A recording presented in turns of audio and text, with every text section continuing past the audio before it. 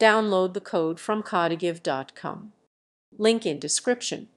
PyDARM is a Python library designed to facilitate the creation of interactive quizzes and surveys in HTML format.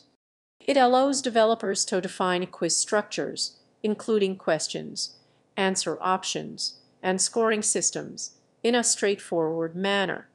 By leveraging PyDARM, users can generate dynamic web content without needing extensive knowledge of HTML or JavaScript.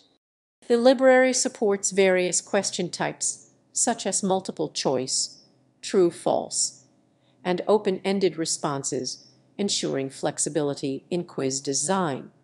Additionally, PyDARM enables easy customization of quiz appearance and functionality, allowing for a tailored user experience.